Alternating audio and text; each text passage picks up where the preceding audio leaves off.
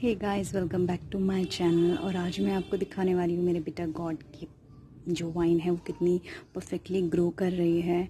और आप देख सकते हो मैंने बहुत छोटे कंटेनर्स में इसको लगाया हुआ है। ये एट इंचेस के पॉट बोल सकती हूँ मैं। और एक पॉट है और कुछ प्लास्टिक के ये इस तरीके से कटे हुए जो वेस्ट में आपके जाते हैं प्लास्टिक के कंटेनर्स उनको काट करके बनाया गया है। तो ये देख लीजिए आप बहुत ही छोटा प्लास्टिक का पॉट है। वो भी और ये वाला जो मिट्टी का पॉट है, ये भी बहुत छोटा है और आप देख सकते हो, मेरी वाइन बहुत ही परफेक्टली ग्रो कर रही है और इसके अंदर बिटा गॉड भी बहुत अच्छे से निकल रहे हैं और हेल्दियर हैं काफ़ी। आप देख सकते हो टॉप तक जा रही है और उसके टॉप पे भी एक बिटा गॉड है और इधर से अगर मैं आपको ये वाइन दिखाऊँ तो लुक सो अमेजिंग और आप देख सकते हो, इस तरीके से है, आगे जा रही है। उसकी ग्रोथ काफ़ी अच्छी हो रही है उधर ये टॉप पे है।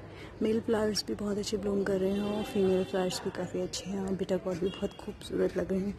मुझे था नहीं कि इसके अंदर बिटा गॉड निकलेगा बिकॉज़ ये बहुत ही छोटे कंटेनर में है। और इतने छोटे कंटेनर में कोई चीज़ इतनी ईजिली नहीं ग्रो करती है बट ये ग्रो कर रहे हैं और अच्छे से निकल रहे हैं तो मैं बहुत हैप्पी हूँ। अभी नेक्स्ट टाइम कभी भी लगाया जाएगा तो बिटर गॉड को कम से कम फिफ्टीन या उसे थोड़े बड़े इंच स्पॉट में लगाया जाएगा। सो so, अगर आपको इससे थोड़े से भी हेल्प मिले तो आप भी ग्रो कर सकते हैं बिटर गॉड को छोटे से कंटेनर में। सो so, मिलते हैं नेक्स्ट वीडियो में। Till then take care bye bye